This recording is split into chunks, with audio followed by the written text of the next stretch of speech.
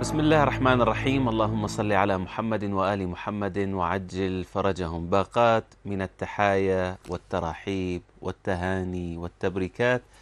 أقدمها لكم عبر الأثير مشاهدينا الكرام مشاهدي قناة كربلاء الفضائية. حياكم الله. وأهلا ومرحبا بكم في حلقة جديدة من برنامجكم تراثنا الإسلامي. بلغ العلا بكماله كشف الدجى بجماله حسنت جميع خصاله صلوا عليه وآله. اللهم صل على محمد وآل محمد. متباركين بمولد النورين مولد النبي الأكرم خاتم الرسل صلى الله عليه وآله وحفيده صادق العترة آه الإمام جعفر بن محمد الصادق عليه وعلى آبائه أفضل التحايا والثناء. آه أدعوكم مشاهدينا الأكارم لمتابعة هذه الحلقة استكمالا لما بداناه في الحلقة الماضية. من موضوع حول تعديل قانون الأحوال الشخصية في العراق وذلك مع الباحث والخبير في التراث الإسلامي المحقق والخبير في التراث الإسلامي سماحة الشيخ محمد الحسون. حياكم الله سماحة الشيخ. أهلا ومرحبا بكم. أسعد الله أيامكم. وأيامكم. بارك الله, الله بكم أهلا ومرحبا. حياكم الله. الله. سماحة الشيخ في حلقة سابقة تحدثنا وإياكم حول تعديل القانون قانون الأحوال الشخصية في العراق. وصلتم في حديثكم إلى معاهدة سيداو. لكن وقت البرنامج لم يسعفنا في الخوض فيها نود أن نستكمل الحديث معكم في هذه الحلقة. بسم الله الرحمن الرحيم الحمد لله رب العالمين والصلاة والسلام على خير خلق الله أجمعين أبي القاسم محمد. اللهم, اللهم صل على محمد وآل محمد وعجل فرجه. هذا الموضوع موضوع تعديل. قانون الأحوال الشخصية في العراق الذي أقر في سنة 1959 يعني في زمن عبد الكريم قاسم شرح هذا القانون نعم. هذا طبعا أخذ مساحة كبيرة من الإعلام والفضائيات والبرامج نعم. الذي يتابع هذه البرامج بدقة يشاهد أن السبب الرئيسي في معارضة تعديل قانون الأحوال الشخصية في العراق وكل هذه الضجة الكبيرة وهذه البرامج والفضائيات السبب والهدف هو معارضة تطبيق الشريعة الإسلامية نعم. معارضة الدين لا يريدون تطبيق الأحكام الشرعية وإنما يريدون تطبيق القوانين المدنية القوانين الغربية. لذلك لما تشاهد هذه البرامج. شوف الذين يخرجون في هذه البرامج وفي هذه الفضائية والذين يعارضون بشدة. نعم نعم يعني تعديل هذا القانون. تشوفهم أنهم من الناس فلنعبر عنهم من الناس اللادينيين من العلمانيين أو العلمانيين من الشيوعية من الناس اللادينيين يعني لا يريدون تطبيق أحكام الشريعة الإسلامية في الحياة. هذا بشكل مختصر وبشكل واضح. يعني ما فيه أي لبس. ولا أتصور أنا وكثير من الناس لا أن هذه القضية قضية عفوية وإنما هناك وراءها آه نعم يعني نعم أشخاص أو منظمات عالمية كلهم ماذا؟ الهدف منهم هو الوقوف أمام تطبيق الشريعة والعجيب من هؤلاء نعم. العلمانيين أو العلمانيين الذين خرجوا بالفضائيات وعارضوا تعديل قانون الأحوال الشخصية هؤلاء يطالبون الدولة بتطبيق الاتفاقيات الدولية التي يدعون أنها تدافع عن حقوق المرأة. وفي مقدمتها اتفاقية سيدا بشكل صريح يعني أنا شاهدت بعض النساء يسموهن ما أدري يعني ناشطات في العمل أو ما أدري محامية تقول نحن لابد أن لابد أن نطبق بنود اتفاقية ماذا؟ اتفاقية سيداو هل يعلم العراقيون ما هي بنود اتفاقية سيداو؟ ما هذه الاتفاقية التي أقرت سنة 1979 وأقرتها الجمعية العامة للأمم المتحدة وكان الهدف منها هو القضاء على جميع أشكال التمييز ضد المرأة وصادق عليها 189 دولة وعارضتها ولم توقع عليها السعودية وإيران وتحفظت عليها بعض الدول العربية وبعض الدول الإسلامية. العراقيون لابد أن يطلعوا على بنود هذه الاتفاقية. والشعب العراقي شعب مسلم شعب نعم نعم يعني ملتزم بالأحكام الشرعية. قطعا لا يوافق على تطبيق هذه البنود.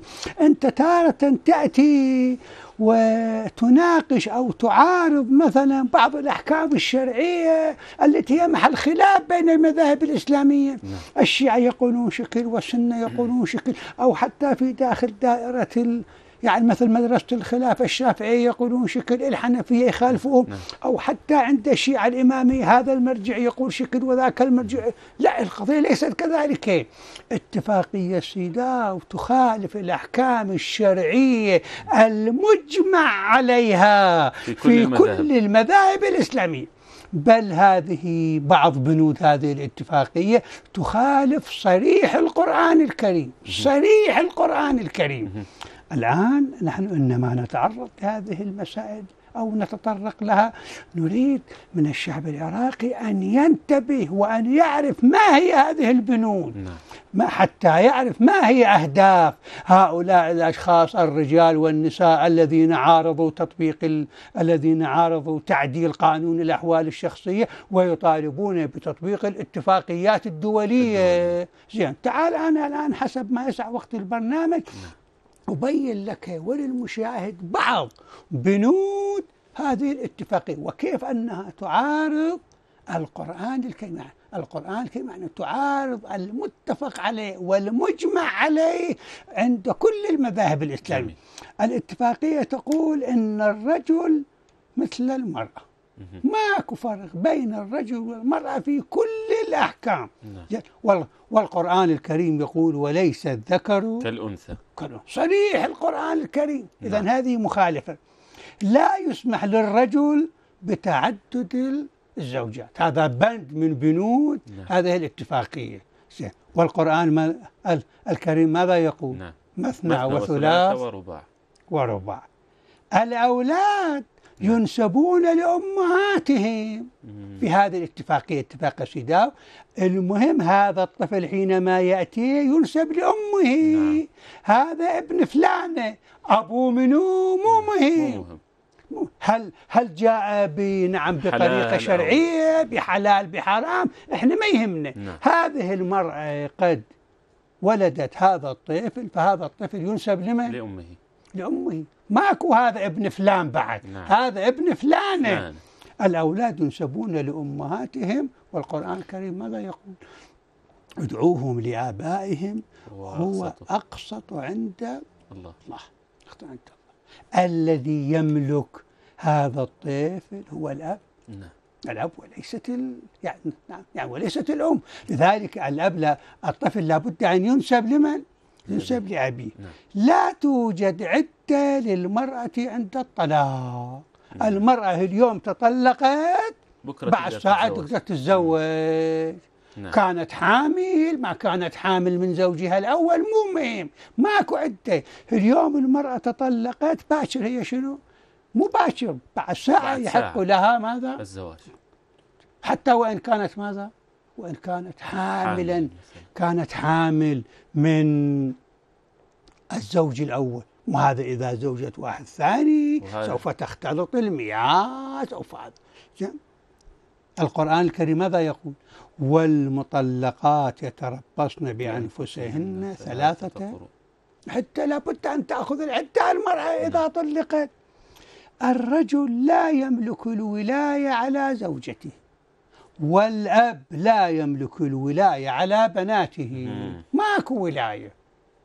الزوجة تخرج متى تشاء وتدخل البيت متى ما شاء تشاء وتتصرف. والزوج لا يحق له ماذا؟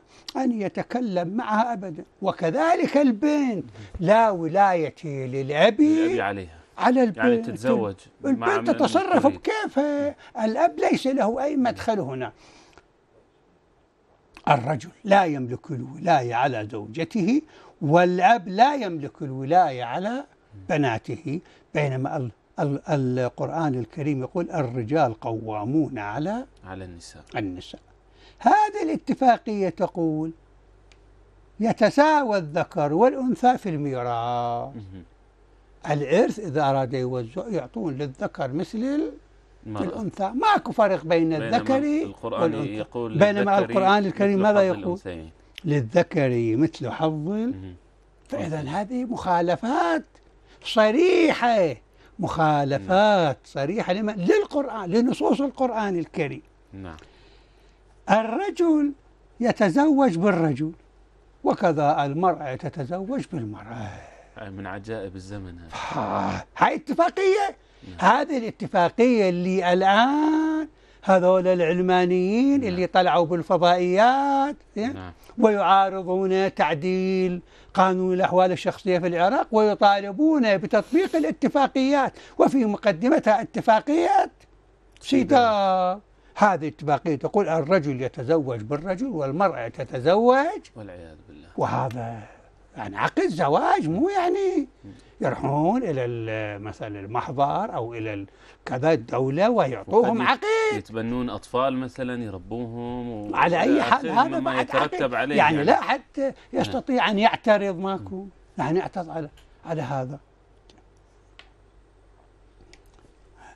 والقرآن الكريم ماذا يقول؟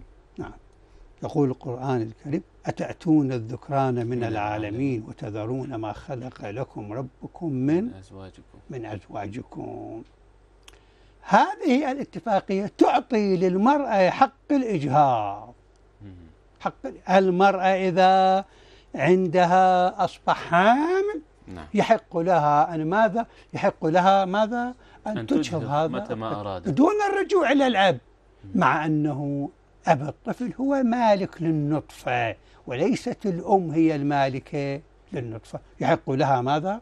أن تجهض وقانونا هم غير آه، يعني محاسبة. ولا يحق للزوج أن يمنعها من ذلك. هي تروح ماذا؟ تروح وتسقط هذا مع فرض حتى أنه الزوج موافق هي بإمكانها أن تجهض أصلا لا تأخذ آه، مع فرض إذنه. يعني هي هي في في إشكال في نفس الإجهاض يعني إذا. كان من دون أحسن. سبب شرعي زين؟ والقرآن ال- الكريم يقول ولا تقتلوا أولاد لا تجرم العلاقات الجنسية خارج الزواج لا تجرم العلاقات الجنسية خارج يعني هذه المرأة التي عندها زوج شو تسوي؟ يحق لها أن تذهب وتقيم علاقة جنسية مع شخص آخر. حتى المحصنة يعني. ماكو صريح. يعني محصنة غير محصنة تقدر. ماكو لا هذه الآن محصنة. يعني لا تجرم العلاقة الجنسية خارج الزواج للمرأة المتزوج. يعني أمرأة متزوجة تروح شو تسوي؟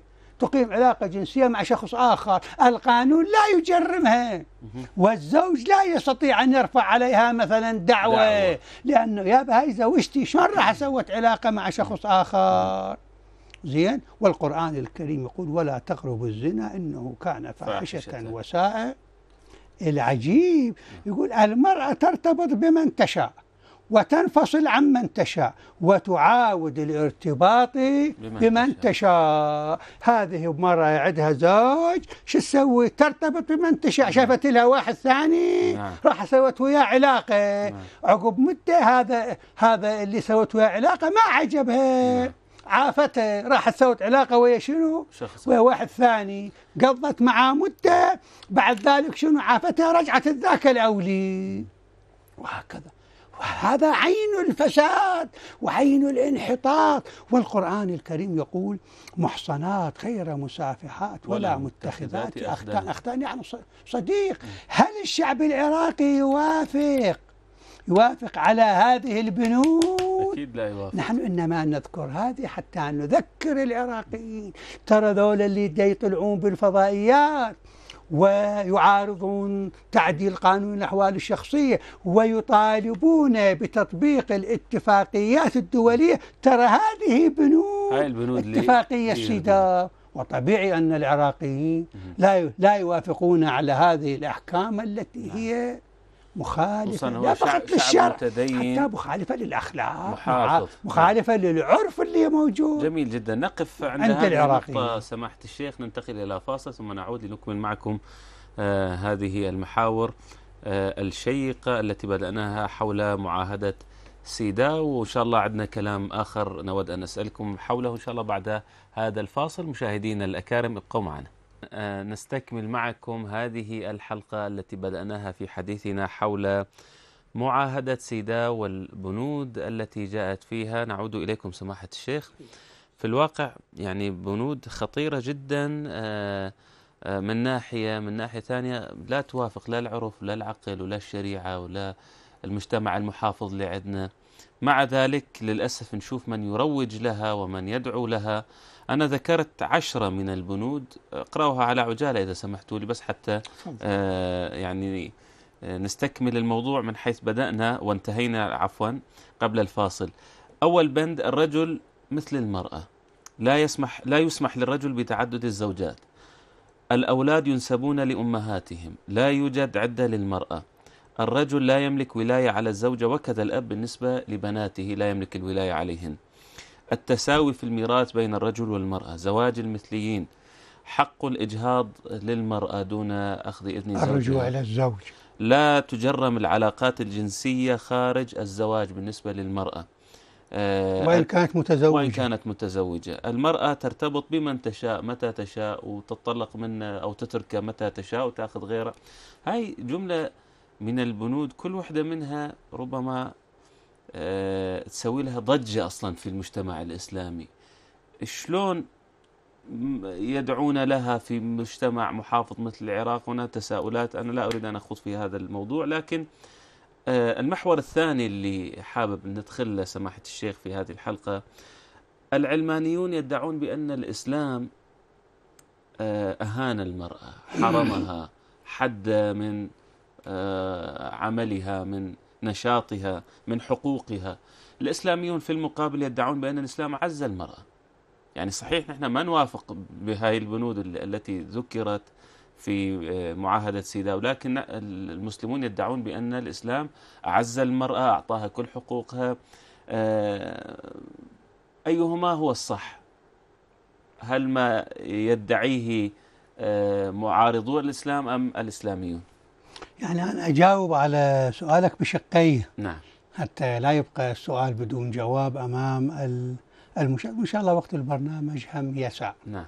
طبعا الملاحظة أن العلمانيين في الفضائيات بالبرامج حينما يدعون إلى تطبيق الاتفاقيات الدولية والتي هم يقولون بأنها تدافع عن المرأة وهي ضد يعني ضد ظلم المرأة وفي مقدمة اتف- اتفاقية سيداو لا يذكرون هذه النقاط. لا يذكرون. يعني لا يجرؤون في برنامج آه نعم يعني يظهرون ويقولون هذه الق... ولكن الباحثون ذهبوا واستخرجوا هذه البنود. يعني هذه البنود من الاتفاقية وترجموها ترجموها إلى اللغة العربية. وإلا هم لا يتجرؤون أن يخرج مثلا واحد من العلمانيين ويقول بأنه نعم هذه بنود سيداو مم. لا, يتكلمون وإنما يقولون بشكل عام اتفاقية سيداو تدافع عن المرأة وتحفظ المرأة وهي ضد جميع أنواع ال- العنف الأسري والعجيب عن اللي شاهدته نعم. هذا اللي أريد أن أ- أقوله مهم. أو أريد أن أقوله نعم. أنه هذه البرامج مع الأسف الشديد في بعض الأحيان تأثر بها حتى بعض ال... يعني بعض نساء العوائل المتدينة والمؤمنة. عجيب. لأنه ذولا ما عندهم اطلاع على هذه البنود. بنود. ما عندهم اطلاع على بنود اتفاقية سيداو شنو هي؟ وإنما يسمعون فت كلام حلو جميل يا المرأة مظلومة والاتفاقية تدافع عن المرأة. وحتى أنا شاهدت إحدى النساء دكتورة هي. ومن أسرة علمية ومن أسرة يعني متدينة. آه، كانت تقول بأنه 99% من نساء العراق تعرضن إلى العنف الأسري. وهذه إحصائية غير دقيقة يعني خطيرة يعني هذه الإحصائية تدل على أن الشعب العراقي شعب آه، كله عنيف. نعم يعني متوحش وشعب خشن بحيث أن تسع بحيث أن 90 أو 99% من نساء العراق تعرضن إلى شنو؟ عنف أسري. إلى العنف الأسري. يعني الأب يضرب بناته والزوج يضرب زوجته والأم تهان البنت ال- المرأة تهان. وهذا غير صحيح هذا. نعم أكو هنالك في بعض ال... في بعض الحالات هذا شيء موجود لكن مو بهذه النسبة. هذه النسبة تعطي إلى العالم فرد نظرة سيئة عن العراق وعن نعم. العراقيين. نعم. الجواب على الشق, الشق الثاني. الثاني. من سؤالك. مشكلة العلمانيين أنهم جهال في الشريعة وليس لديهم اطلاع على الأحكام الشرعية. هذا أولا. وثانيا يخلطون بين الأحكام الشرعية وبين العادات والتقاليد الموجودة في المجتمعات الإسلامية. يعني لما يجون ويشوفون مثلا نعم بعض الأحيان توجد عادات وتقاليد في بعض المجتمعات الإسلامية يشيلوها ويحملوها على الإسلام يقول هذه هي الشريعة الإسلامية. بينما ماذا؟ أشياء صح ليس كل العادات والتقاليد الموجودة في المجتمعات الإسلامية وبالأخص في القرى والأرياف هي تطابق الشريعة الإسلامية. صحيح هذه العادات موجودة عند المسلمين وهذه فيها ظلم للمرأة. نحن نقول صحيح ولكن هذه ليست أحكام شرعية. هذه الأحكام وهذه العادات والتقاليد مخالفة للشريعة الإسلامية. في الواقع نحن من, من كتب هذه المعاهدة هو حاول أن يستغل هذه النقطة. أحسنت. هم الآن من يتحدثون يجيبون مثل شواهد. نعم. يقول لك تفضل هذه القرية في مصر في العراق فلان مكان هيك ضربوا المراه ك... نعم. عمي صحيح. نحن لا نقول بأن هذه العادات والتقاليد ما موجودة أو أن المرأة قد ظلمت ولكن هذه ليست أحكام شرعية. نعم. نحن إذا أردنا أن نعرف مكانة المرأة في الشريعة الإسلامية أو إذا أردنا أن نعرف هل أن الشريعة الإسلامية قد ظلمت المرأة قد أهانت المرأة أو قد احترمت المرأة وأعطتها مكانتها. لابد أن نرجع إلى من؟ نرجع إلى مصدري التشريع الإسلامي اللي هم الكتاب والسنة. الصحيح من السنة. بل نرجع إلى الرسالة العملية اللي, اللي الآن موجودة بين أيدينا. وكل واحد من عندنا لابد ماذا؟ أن يقلد مرجعا. نحن نعم نعم ما؟ يعني نعم يعني نحن الشيعة نعم في الفتاوى الفقهية. ونطبق هذه نعم. الرسالة هذه الآن رسالة المرجع الأعلى في العراق. نعم وهو رسالة عملية. مع السيد السيستاني موجودة وأنتم راجعوا شوفوا فيها ظلم للمرأة. الإسلام أعز المرأة. وانتشلها من الحضيض والذل والحرمان الذي كانت تعيش فيه سابقا نعم. وجعل لها المكانة العليا في المجتمع وساوى بينها وبين الرجل في كثير من الأحكام إلا في بعض الأحكام الخاصة وذلك من أجل مصلحتها الآن لما نرجع إلى القرآن الكريم نشاهد بأن الشريعة الإسلامية منحت المرأة هويتها كإنسان مثل الرجل لا تفرق هذا إنسان وهذا إنسان. الآية القرآنية ماذا تقول؟ يا أيها الناس إنا خلقناكم من, ذكر وأنثى. من ذكر وجعلناكم شعوبا وقبائل لتعارف. إذا المجتمع خلق من أي؟ من ذكر على دعامتين وعلى أسطوانتين. فإذا ذهبت إحدى الدعامة يسقط هذا المجتمع. مثل الآن الإنسان حينما يسير على قدمين. إذا فقد قدما فقد قدم ماذا يصبح شنو؟ مجتمع يصير أعرج أعرج من ذكر وأنثى. إذا شنو؟ يعني أعطى الإسلام الإنسانية مثل ما أن الذكر إنسان. ماذا؟ الأنثى أيضا. نعم. والآن لو تأتي مثلا أن المرأة حينما تعمل عمل صالح لها الأجر والثواب وكذلك. الباري عز وجل ماذا يقول؟ إني لا أضيع عمل عامل منكم من ذكر وأنثى. بعضكم من بعض. من بعض. هذا هو القرآن الكريم. هذه هي مكانة المرأة, المرأة في الإسلام. زين. إني لا أضيع عمل عامل شنو؟ يعني مثل ما أن الرجل يأتي بالعمل الصالح فيقبل منه. كذلك المرأة. السعي غير خائب والعمل غير مضيع. مقبول من الرجل والمرأة. مع تفاوت أن عمل المرأة قد يكون مثلا في حقل آخر ذاك مسجد المرأة. بيتها مثلا. بشكل عام بشكل عام مثل ما أن الرجل يحصل على الأجر والثواب في عمل المرأة أيضا ما نعم. تحصل. من عمل صالحا من ذكر أو أنثى وهو مؤمن.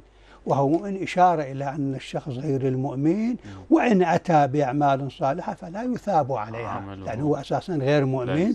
نعم. فلنحيينه حياة طيبة ولنجزينهم أجرهم بأحسن ما كانوا يعملون. يعملون. الذي يأتي بالعمل الصالح سواء كان من ذكر أو أنثى ماذا؟ الله سبحانه وتعالى يعطيه الأجر. ماكو تمييز هنا بين الذكرين. وبين الأنثى هذه في سورة النحل آية 97 نأتي إلى سورة المؤمن آية 40 ومن عمل صالحا من ذكر وأنثى وهو مؤمن فأولئك يدخلون الجنة يرزقون فيها بغير حساب. حساب.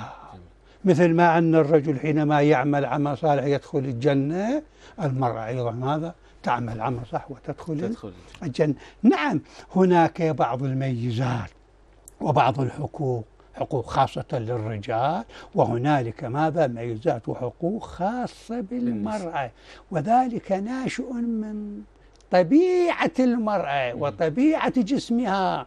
بل وهذه الأحكام لمصلحتها لمصلحتها. القرآن الكريم ماذا يقول؟ ولا تتمنوا ما فضل الله به بعضكم على بعض. للرجال نصيب مما اكتسبوا وللنساء نصيب مما اكتسبنا واسألوا الله شوف. واسألوا الله من فضله. إن الله بكل شيء ماذا؟ عليم. عليم. إذا الإسلام أعطى ماذا؟ أعطى للمرأة هويتها مكانتها احترمها. الآن لو نأتي إلى مثلا الأنثى إما أن تكون بنت أو تكون زوجة أو تكون أم. نعم. لا يخلو. زين. ما هي مكانة البنت في الشريعة الإسلامية؟ زين. إحنا الآن لو نرجع إلى الأحاديث النبوية اللي موجودة شوف كيف تعبر عن البنت وكيف توصي الآباء باحترام البنات. ال ال نعم النبي صلى الله عليه وسلم يقول الشخص الذي مثلا كأنما انزعج حينما زوجته مثلا جاءت ببنات. القضية والقصة معروفة. نعم. نعم. فإن الحبيب المصطفى قال الأرض تقلها والسماء تظلها والله يرزقها هذه البنت رزقها على الله. وهي ريحانة تشمها تشم هاي البنت. هذه منزلة البنت. بينما كان في حديث آخر يقول نعم. الحبيب المصطفى ريحانة تشمها وقد كفيت رزقها. وكان رسول الله أبا بنات. النبي محمد صلى الله عليه وسلم. ما كان ولد نعم. أولاده قد قد ماتوا في حياته. نعم. وهو أبو بنات. أبو بنات. البنات حسنات. والبنون نعم. وفي حديث آخر يقول نعم الولد البنات ملطفات مجهزات مو مجهزات مونسات مباركات. بعد هذا بعد شديد أكثر من هذا. وين الإسلام ظلم المرأة أما إذا كانت الأنثى زوجة فماذا عبر عنها القرآن عن الزوجة؟ وماذا وهنا مكانتها في الإسلام. ومن آياته أن خلق لكم من أنفسكم أزواجا. شنو؟ لتسكنوا. إليها. وجعل بينكم مودة ورحمة. ورحمة. النبي صلى الله عليه وسلم يقول أوصاني جبرائيل بالمرأة. ويقصد الزوج. حتى ظننت أنها لا ينب... أنه لا ينبغي طلاقها إلا من فاحشة مبينة من كثر ما جبرائيل نزل وأوصاني بالمرأة بالزوجة بالزوجة بالزوجة. النبي يقول أنا ظنيت بأنه هاي الزوجة لا يجوز تطلقها إلا من فاحشة. مبين. مع إقامة البينة على مو مجرد تهمة مثلا. نعم. من اتخذ زوجة فليكرمها. حديث أنت عندك زوجة أكرمها مو تهينها نعم. استوصوا بالنساء خيرا. أما إذا كانت الأنثى أمها. زين؟ نعم. القرآن ماذا يقول؟ ووصينا الإنسان بوالديه إحسانا.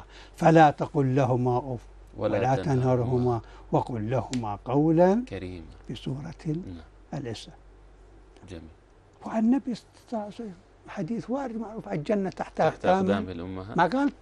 تحت أقدام نعم. الآباء أو تحت أقدام إذا نحن إذا أردنا أن نعرف بأن الشريعة الإسلامية أكرمت المرأة أو أهانتها. خل نرجع إلى أعطتها مكانتها الواقعية أو. لا.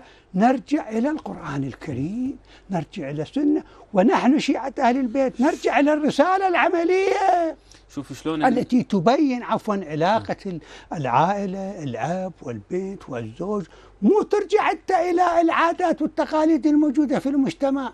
هذا المجتمع في خطأ وفي عنده صح. عادات نعم ونحن نقول لك هذا المجتمع فيه عادات قد ظلم المرأة. نحن نقر ونعترف ولكن هذا ليست أحكام الشريعة الإسلامية. صحيح. فهؤلاء العلمانية أو اللادينية شو يسوون؟ يجيب لك أمثلة تفضل. ياخذ هاي- هاي المرة ظلموها وذي ضربوها صحيح. العواطف شوية أحسن. فنحن لابد أن ماذا؟ نكون يقظين. يعني أحسنتم يعني. شيخنا. آه، آه، نقف آه، مجبورين يعني عند هذه خذ النقطة لنتوجه إلى فاصل ثم نعود لنكمل هذا الحديث معكم إن شاء الله. مشاهدينا الأكارم مستمرون بعد وقفة قصيرة ابقوا معنا. يا قارئ القرآن ألف تحية. قل لي بربك أي باب تقرأ؟ يا قارئ القرآن ألف تحية. قل لي بربك أي باب تقرأ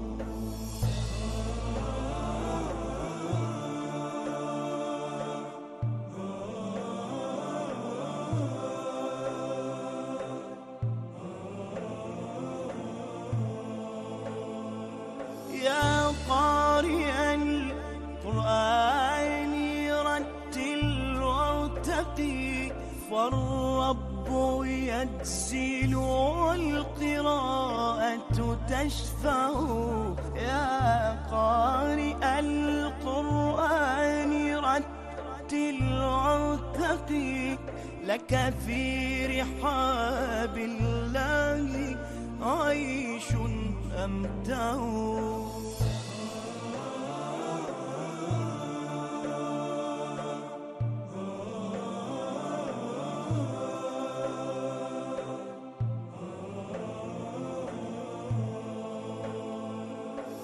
واشرح فؤادك بالكتاب وذع به في دهرنا ولك المكان الأرفع. العلم نور وانتصار عقيدة والجهل مر الدهر لا يتجرع.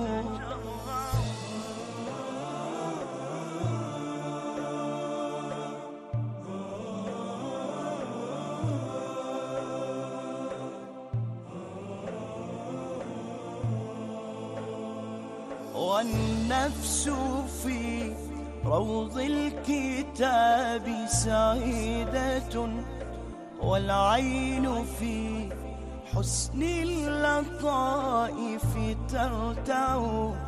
آي الكتاب خزائن مملوءة بالمكرمات وكل دار فالقوم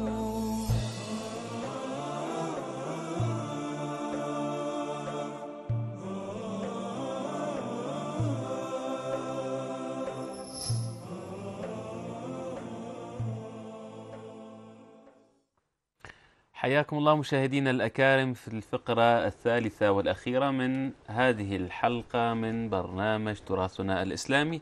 سماحة الشيخ قبل الفاصل أشرتم إلى نقطة مهمة وحساسة وهي الفرق بين الأحكام الشرعية والعادات والتقاليد الموجودة في بعض المجتمعات الإسلامية. يعني عندنا خير مثال النبي الأكرم صلى الله عليه وآله كان ينادي بنته الزهراء أم أبيها. وهو خاتم الرسل وهو أفضل البشر. ويقول لها أم أبيها. ويقول كمل من النساء أربع آه، خديجة وآسيا ومريم فاطمة. وفاطمة. سلام الله آه، عليهم أجمعين. إذا أعطى آه، أئمتنا النبي الأكرم أعطوا المرأة درجة عالية بل أوصلوا بعض النساء إلى الكمال كمل يعني يعني وصلت إلى أعلى درجات الكمال. آه، سؤالنا الآن هذا الخلط اللي صار عند العلمانيين بين العادات والتقاليد الموجودة في بعض المجتمعات الإسلامية آه، وبين حقيقة ما ما هو موجود في الشريعة الإسلامية. نود أن نتكلم حول هذا الخط شوية إذا عندكم بعض الأمثلة في هذه نعم. الفقرة آه، مشكلة ال- العلمانيين أو العلمانيين واللادينيين أنهم لا يميزون بين الأحكام الشرعية وبين العادات والتقاليد الموجودة في بعض المجتمعات الإسلامية. فهم يتصورون أن كل العادات والتقاليد الموجودة في المجتمعات الإسلامية هي أحكام شرعية أو قد أقرتها الشريعة الإسلامية. وهذا خطأ. هذا خطأ. ال- العادات والتقاليد الموجودة في المجتمعات شيء والأحكام الشرعية شيء آخر. يعني أنت لا تستطيع أن تحمل أو تحسب كل العادات والتقاليد الموجودة في المجتمعات الإسلامية وبالأخص في بعض القرى والأرياف في بعض الدول العربية وبعض الدول الإسلامية تجي وتحسبها على الشريعة ال- الإسلامية. لا أبدا. العادات شيء والتقاليد ولا ال نعم الأحكام الشرعية شيء والعادات والتقاليد ماذا شيء شيء آخر. وهؤلاء نحن نقول لهم نعم نحن أيضا نقول نقول بأنه هذه العادات والتقاليد موجودة في بعض المجتمعات. نعم قد ظلمت المرأة ولم تعطها حقها هذا صحيح ولكن من قال لكم بأن هذه هي شرعية؟ هؤلاء خالفوا الشريعة الإسلامية في تعاملهم مع المرأة, المرأة. ونحن إذا أردنا أن نعرف مكانة المرأة كما قلنا قبل الفاصل واقعية في الإسلام نرجع إلى ماذا؟ إلى الكتاب وإلى السنة. الآن أنت لو تأتي إلى المجتمعات عموما تختلف في العادات والتقاليد. نعم. هذا فالشيء عام يعني.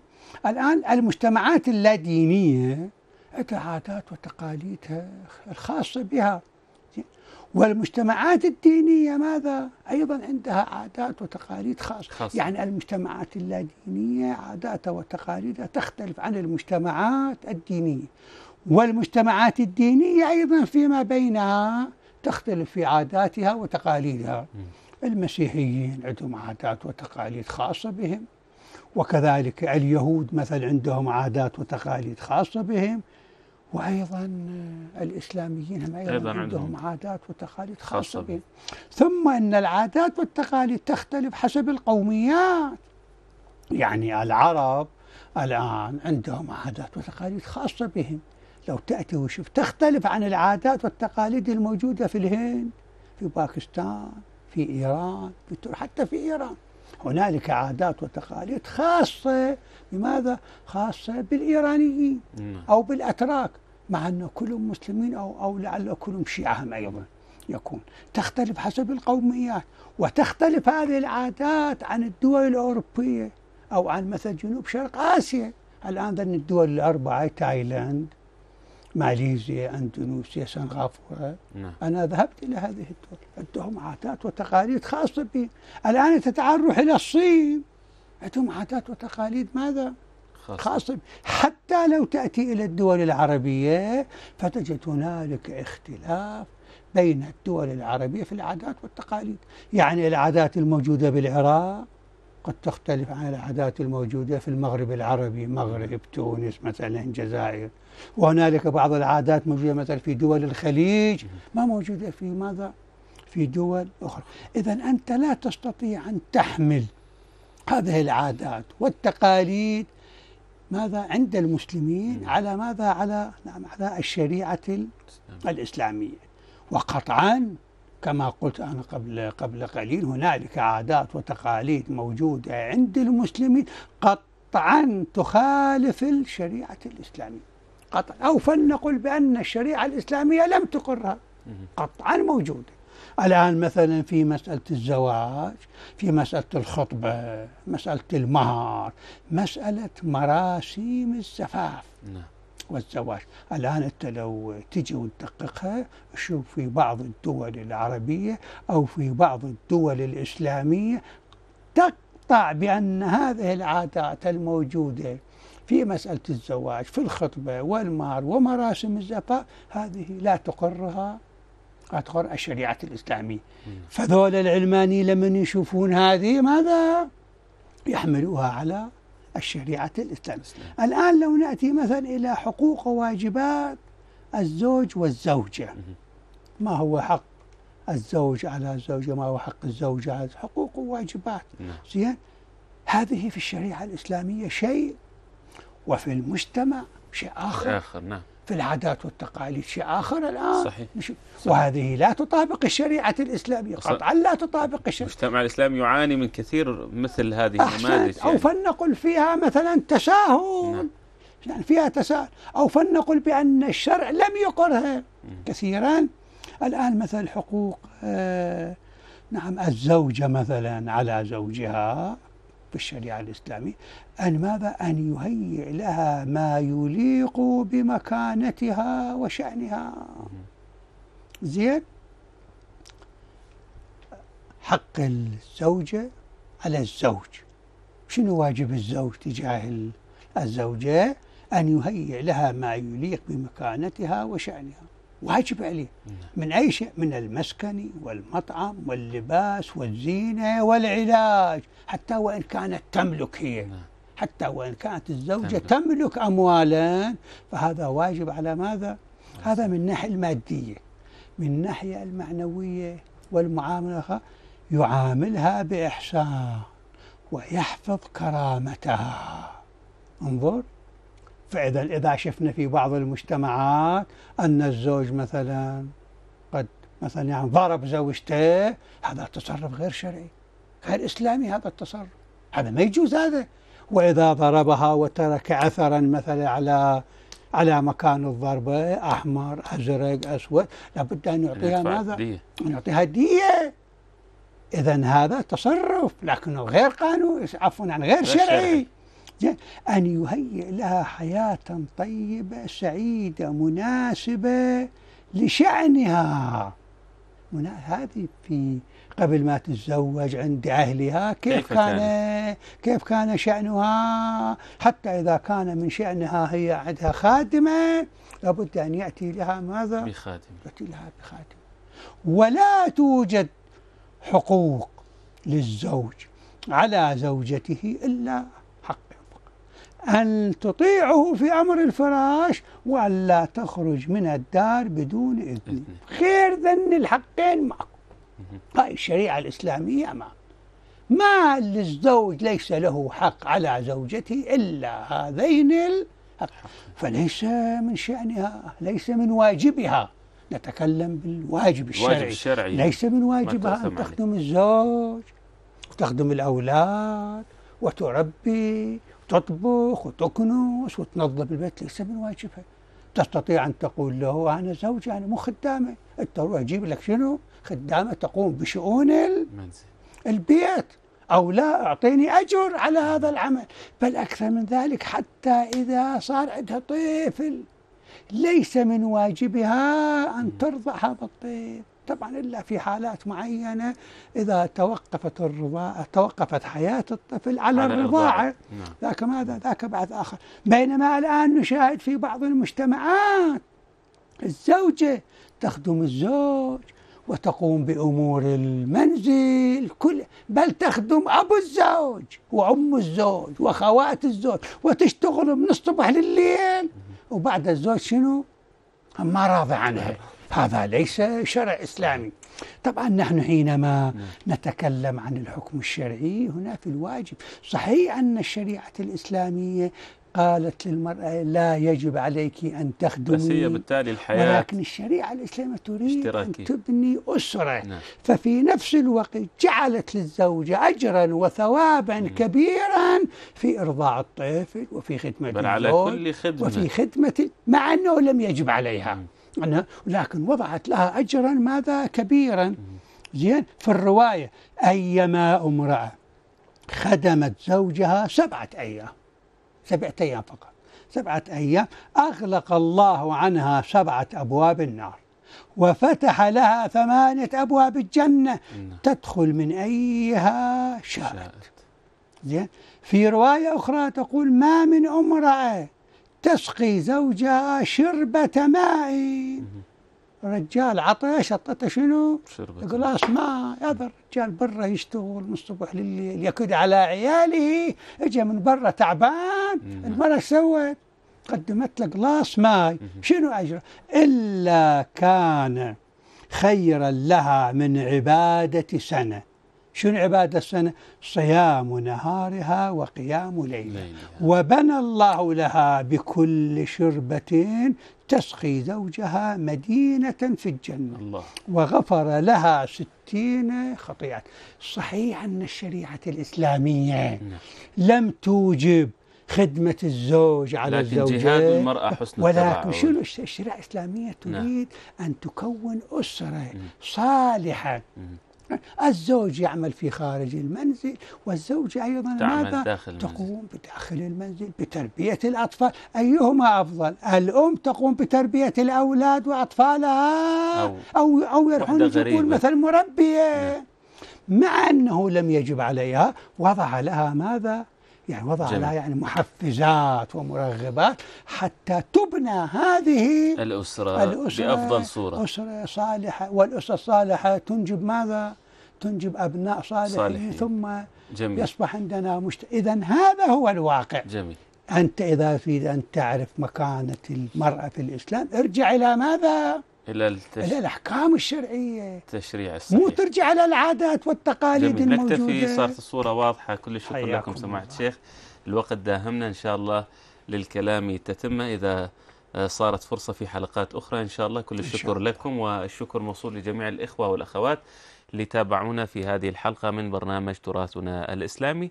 نلقاكم في حلقات أخرى من هذا البرنامج. إلى ذلك الحين في أمان الله.